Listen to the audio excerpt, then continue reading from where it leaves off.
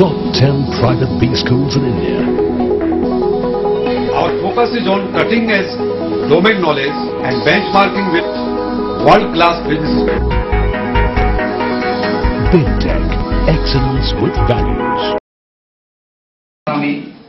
जो प्रभारी नियुक्त किए जाते हैं उस तरीके से प्रभारी जो यहाँ से अगर नियुक्त किए जाए जो कि उस पर देख रेख करे उम्मीदवार को कि किस कंडीशन में चल रहा है उम्मीदवार अकेला सा महसूस करता है जब चुनाव लड़ता है तो उसको फंड भी अपनी तरफ़ से अरेंज करना होता है, प्रचार भी अपने तरीके से अरेंज करना होता है। जो सबसे कमी खली, वो स्टार प्रचारक की खली जो इस तरीके से मेरा सुझाव है कि पार्टी को इस तरीके से करना चाहिए और हम लोग जी जान से ज़ोर लगा करके और अपनी उपलब्धि ज़रूर दर्शन मतलब यहाँ पे करेंगे, जैसे आपका मार्गदर्शन है।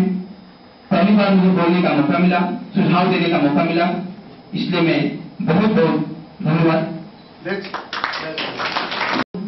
और हम लोगों ने पार्टी की गतिविधियों के अंदर कुछ कमियाँ देखी जिसकी वजह से हमारे कुछ कार्यकर्ता पार्टी छोड़ के भी गए, जिसमें आदरणीय श्री सरप्रभा जी का एक स्टेटमेंट था, जो महाराष्ट्र को लेके कि को समर्थन दे रहे हैं। जो माइनॉरिटी समुदाय के जो हमारे साथी थे, वो उससे हताश होने की वजह से हम लोगों को साथ छोड़ के गए।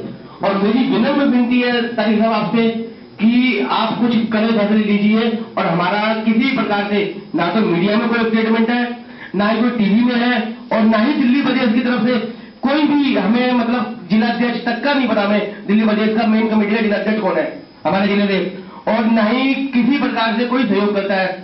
ये तो सिर्फ़ राजीव झा जी है जो समय समय पे जो हम लोगों को थाम देते हैं और कार्यकर्ताओं का मनोबल बढ़ाते हैं। और बाकी किसी भी जगह बात जो मतलब एक रेलवे की टिकट के रिजर्वेशन के लिए भी चिट्ठी मांगने जाता तो वो कहते जाता है, अरे, अभी नहीं, बाद में आइएगा। तो सर, मेरा बस ये रिक्वेस्ट है कि हम लोगों को अपने प्रचार पे मस्त ध्यान देना पड़ेगा कि आम आदमी पार्टी कल की नहीं आई और आज उसने अपने कैंडिडेट दिल्ली में उससे लड़ने के लिए लाइन लगाए हुए और हम लोगों के पास कैंडिडेट खोजने पड़ रहे हमें। जबकि इतने साल पुरानी पार्टी हमारी होने के नाते हम लोग कुछ नहीं कर रहे साल हो गए। आज तक दिल्ली प्रदेश की तरफ़ से कोई भी प्रोग्राम नहीं हुआ। सबसे पहले है अपनी पब्लिसिटी कराना जिसमें कि अपनी प्रेजेंस कैसे दर्ज कराए उसकी पब्लिसिटी दूसरा है मीडिया मैनेजमेंट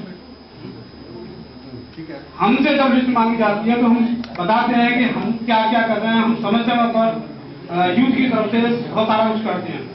लेकिन दिल्ली प्रदेश की तरफ़ से आज तक कोई भी प्रोग्राम नहीं हुआ जिसमें कि हम जब व्यवस्था की बात करते हैं या कैंडिडेट्स की बात करते हैं तो कैंडिडेट से हम पूछा जाता है कि आपकी पार्टी हमें क्या खर्च करेगी। जब हम पाँच लाख अपनी पॉकेट से लगाएँगे तो पार्टी उसमें क्या देगी?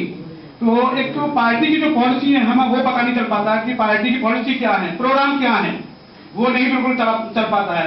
हमारा दिल्ली प्रदेश की तरफ़ से मैं क्षमा चाहूँगा जो साहब की दिल्ली प्रदेश की तरफ़ से तो बिल्कुल ऐसा जो है सन्नाटा छाया हुआ है कि एक भी कोई भी प्रोग्राम नहीं होता। ना ही किसी चीज़ की कोई जानकारी होती है। लिस्ट के बारे में कोई जानकारी नहीं है, कितने पदाधिकारी हैं, हम किससे कांटेक्ट करेंगे, कहाँ मिलेंगे, कोई प्रोग्राम यदि हमें करना होता है तो हमें घूमना पड़ता है कि हमारे पदाधिकारी कितने हैं।